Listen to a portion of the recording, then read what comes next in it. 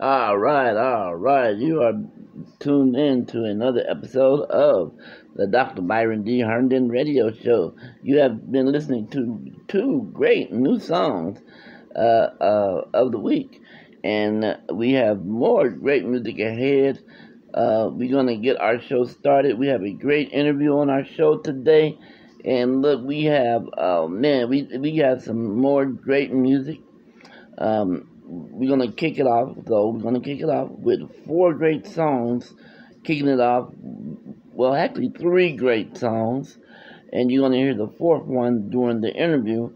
So uh, we're gonna kick it off with the song "Power" by Mr. Martise Gerard. And I tell you, uh, you got the, the power of the tongue. Yeah, power. So, uh, I'm Dr. Byron D. Herndon. I'm your host for today.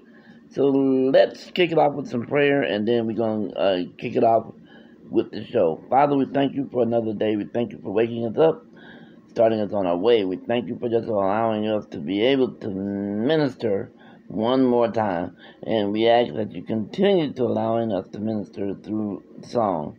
And we ask all that in Jesus, your son's name. Amen. So look, uh, coming back later on, we're going to come back with our scripture later on. And I am sure the scripture that we all know. And, um, hey, I'm ready to kick this show off. Let's get it on with the back in depth and the power of the tongue.